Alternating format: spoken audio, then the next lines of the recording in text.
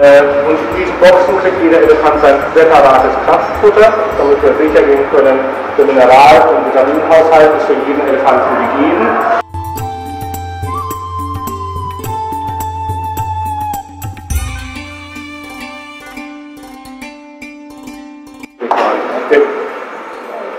Wir können unsere Tiere anketten, wir tun das auch. Allerdings äh, empfinden das der Elefant nicht als negativ, wenn ich den Elefanten, wie wir jetzt in Thai zum Beispiel auch die Kette gelegt haben, für den Transport, dann kriegt er dafür einen ganzen Haufen Bananen, einen ganzen Haufen Kohle, sagt, ja, das ist eine Kette, das ist was ganz, ganz Tolles, weil dafür kriegt ganz, ganz viele leckere Sachen. Wir machen ihm die Kette positiv. Wir können sie hier in diese Seitposition stellen zum Beispiel, dann können wir hier diese Klappe öffnen, können uns das Ohr rausgeben lassen, dann können wir Blutabnahme machen zum Beispiel. Wir können ihn hier in die Seitposition stellen, dann wäre hier sozusagen der Arsch, dann könnten wir hier eine Spritze reinjagen, um ihn zu impfen zum Beispiel. Wir können uns die Füße rausgeben zu lassen, äh, rausgeben lassen und dann mit solchen lustigen Werkzeugen dann Fußpflege zu machen und die Nägel zu kürzen. Ist genauso wie die Pediküre bei Ihnen zu Hause, bloß ein bisschen massiver.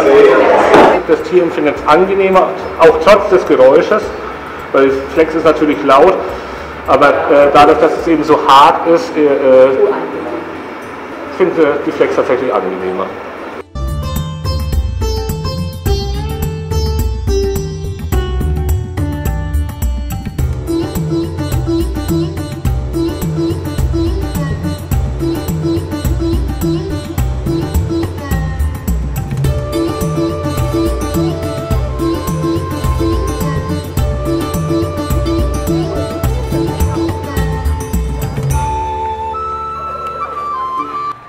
Da bin ich auch immer so ein bisschen im Clinch mit unserer Wissenschaft, diesen ganzen Blödsinn äh, und diesen Spökes von Unterarten und äh, wir dürfen keine Unterarten vermischen und bla bla bla. Und so. äh, um Gottes Willen, wir haben noch äh, 40.000 wildlebende asiatische Elefanten und so in 50 Jahren garantiere ich Ihnen, haben wir keinen einzigen mehr.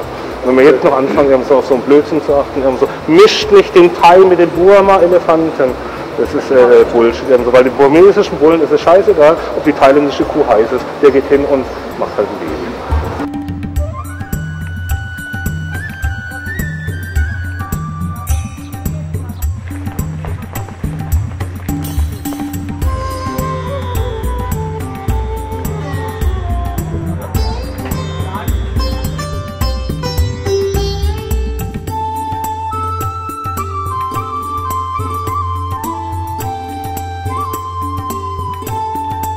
Jetzt an den Beinen und was passiert? Und es wird weich. Auf einmal wird das Tier viel größer und der Hals wird eventuell auch irgendwann länger. Sagt doch, der Hals kann man hin. Hals kann man, auch von unten. Beine fühlen sich ganz anders an als Hals. Man kann ruhig mal so ein bisschen Beine streicheln. Ist ganz weich. Auch ein bisschen he feste streicheln, die mögen das. Das hat sie gern. Die mögen das gerne, ja. Wenn, der, wenn die Schildkröte so hochkommt und der Hals so lang rauskommt und sie stillstehen bleibt, dann ist alles gut. Alles.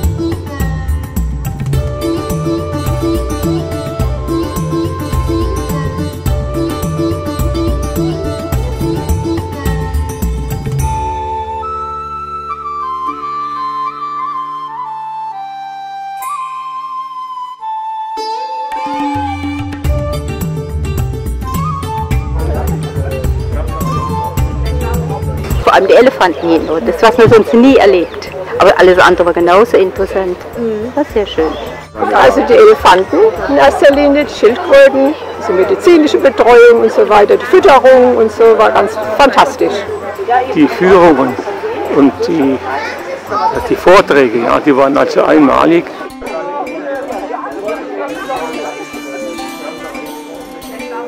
Das war jetzt besonders interessant, weil man sieht sonst alles immer nur von außen.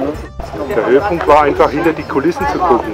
Weil im Elefantenhaus sind wir sonst immer oben gestanden auf dieser Empore und haben nach unten geguckt. Und diesmal haben wir von unten nach oben geguckt und waren mal da, wo die Elefanten leben, in dem Bereich und haben alles gesehen. Das war schon interessant.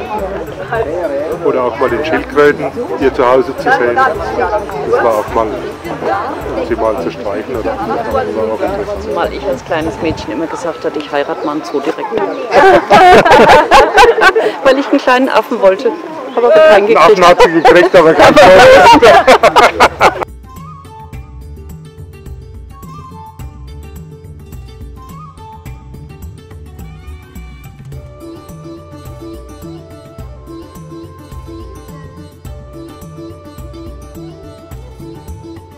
V.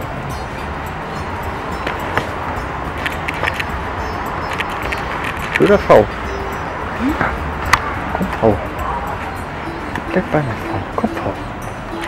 Mach mal was Pfauiges.